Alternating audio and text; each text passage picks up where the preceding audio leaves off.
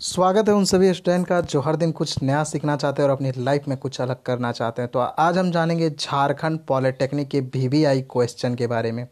जी हाँ आज हम वीवीआई क्वेश्चन करने वाले हैं, यानी कि वेरी वेरी इंपॉर्टेंट क्वेश्चन जो कि आपका जो है वो एग्ज़ाम के पर्पज़ से है। जी हाँ अगर आप झारखंड पॉलिटेक्निक का एग्ज़ाम इस बार दे रहे हो तो आपके लिए जो है, ये क्वेश्चन बहुत ही बेनिफिट होने वाला है और मैं आपको बता दूँ कि प्रकाश के प्रावर्तन तथा अपरावर्तन चैप्टर से जो है, मैंने कुछ वी बी आई क्वेश्चन तैयार किए हैं और ये जो वी बी आई क्वेश्चन है, वो डेफिनेटली आपके एग्ज़ाम में पूछा ही पूछा जाएगा।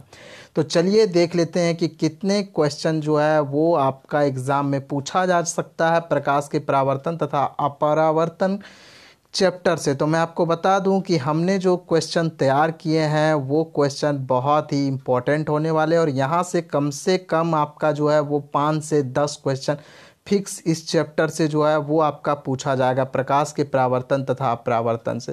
पहला क्वेश्चन है कि सौर भट्टी में किस दर्पण का यूज़ किया जाता है? तो अगर आप आंसर जानते हो तो कमेंट बॉक्स में बता देना कि मैं जो है आंसर पहले से जानता था। नहीं जानते हो तो यहाँ पे सीख लो। इसका जो सही आंसर है, वो है अवतल दर्पण। क्वेश्चन नंबर दो में आते हैं। क्वेश्चन नंबर टू में पूछा गया है, दाढ़ी बनाने में किस दर्पण का यूज़ किया जाता है? तो जो सही आंसर है, समतल और अवतल दर्पण। दर्पण क्या होता है? तो दर्पण है जो है, वो मिरर होता है, जिसे कि हम आईना बोलते हैं। आसान भाषा में जब भी आप सैलून में जाते होगे तो आप देखते होगे कि वहाँ पे जो दर्पण लगा होता है आपके सामने आईना जो लगा होता है वो जो आईने का यूज़ किया जाता है उसका नाम होता है समतल या अवतल दर्पण का जो है, वो यूज़ किया जाता है मिरर का। अब बात कर लेते हैं कि निर्वात में प्रकाश की चाल कितनी होती है। उससे पहले जान लेते हैं कि निर्वात होती क्या है। निर्वात एक ऐसी जगह है जहाँ पे ना ही वायु होते हैं, ना ही कोई पार्टिकल्स होता है, ठीक ना?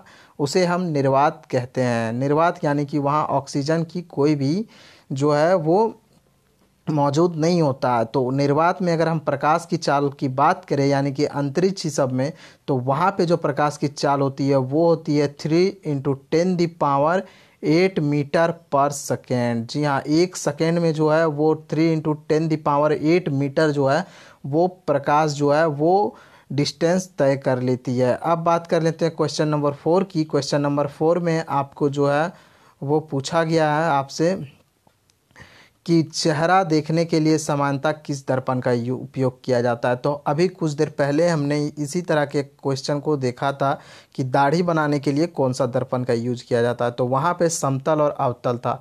तो यहाँ पे जो हम लोग घर में जो आईना होता है, जो मिरर होता है, जिसमें हम अपना चेहरा देखते हैं, उसमें जो है वो समतल दर्पण का यूज़ किया जाता है। क्वेश्चन नंबर फाइव की ओर बढ़ते हैं। इसमें पूछा गया कि मोटर चालक के सामने कौन सा दर्पण लगा रहता है। जी हाँ मोटर चालक के सामने। आपने देखा होगा कि जब भी आप बाइक चलाते हो तो पीछे देखने के लिए आपके एसेलेटर के आपके राइट हैंड और लेफ़्ट हैंड के साइड में दो मिरर लगे होते हैं छोटे छोटे जी हाँ उस दर्पण में जो है, उस मिरर में कौन सा दर्पण का यूज़ किया जाता है तो उसमें जो किया जाता है, वो उत्तल दर्पण किया जाता है। और उत्तल दर्पण की प्रकृति कैसी होती है, इस पर भी बात कर लेते हैं। उत्तल दर्पण में कोई भी प्रतिबिंब बनता है, यानी कि किसी भी चीज़ का अगर फ़ोटो बनता है तो वो छोटा बनता है। जी हाँ इसीलिए हम अपने पीछे साइड का जो है, वो बाइक चलाते समय बहुत बड़ा दृश्य देख पाते हैं। अब बात कर लेते हैं वाहनों के अग्रद्रीप में किस दर्पण का यूज़ किया जाता है। अग्रद्रीप में अग्रद्रीप यानी कि हम बोल सकते हैं वाहनों के हेडलाइट में। हेडलाइट जो होता है, जहाँ से लाइट निकलती है, उसमें कौन से दर्पण का यूज़ किया जाता है? तो अवतल दर्पण का यूज़ किया जाता है वाहनों के अग्रद्रीप में, ठीक ना?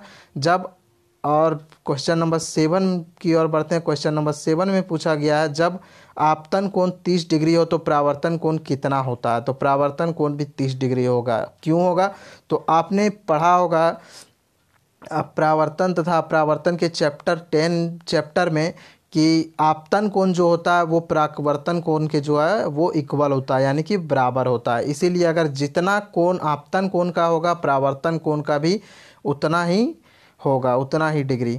अब बात कर लेते हैं क्वेश्चन नंबर एट की। क्वेश्चन नंबर एट में पूछा गया है लेंस की क्षमता का ही मात्रक क्या है? लेंस जी हाँ लेंस का क्षम लेंस की जो क्षमता है उसका ही मात्रक क्या है? मात्रक यानी कि उन यूनिट क्या है? तो वो है डायोप्टर जी हाँ डायोप्टर जो है, वो लेंस का ऐसा मात्रक है। ऐसा मात्रक का मतलब होता है इंटरनेशनल सिस्टम जिस, जो कि पूरे विश्व में माना जाता हो, उसे हम एसआई मात्रक कहते हैं। लेंस की कितनी वक्रता त्रिज्या होती है? जी हाँ जो लेंस होता है, उसकी कितनी वक्रता त्रिज्या होती है? तो इसकी जो वक्रता त्रिज्या होती है, वो दो होती है। जी हाँ लेंस की दो वक्रता त्रिज्या होती है। लेंस के आवर्धन का व्यंजक लिखे। लेंस का जो आवर्धन का जो फॉर्मूला होता है, वो होता है M equal to B by U question number ten में आप देख सकते हो, यहाँ पे पूछा गया लेंस के आवर्धन का व्यंजक लिखे तो इसका जो आवर्धन होता है, वो होता है M equal to B by U question number eleven में पूछा गया है, पारदर्शी माध्यम के दो उदाहरण दे। अब बात कर लेते हैं, पारदर्शी किसे कहा जाता है? पारदर्शी जिससे कि सूर्य की किरणें इस ओर से उस ओर पार हो सके। तो आपने देखा होगा कि कांच से जो है, वो सूर्य की किरणें इस ओर से उस ओर हो जाती है। जी हाँ पहला कांच, दूसरा पानी। पानी में भी आपने देखा होगा कि जब किरणें पानी में पड़ती है तो पानी से गुजरते हुए जो है, वो नीचे ज़मीन तक चल जाती है। आपने कभी कभी कुआँ या तालाब में भी ऐसा देखा होगा। अब बात कर लेते हैं क्वेश्चन नंबर बारह की। इसमें पूछा गया, विरल माध्यम से सघन माध्यम में जाते समय प्रकाश की किरण किस और जो है वो मुड़ती है तो वो जो है, वो अभिलंब की ओर मुड़ जाती है। जी हाँ जब भी प्रकाश की किरण विरल माध्यम से संग माध्यम में जाती है तो वो अभिलंब की ओर मुड़ जाती है।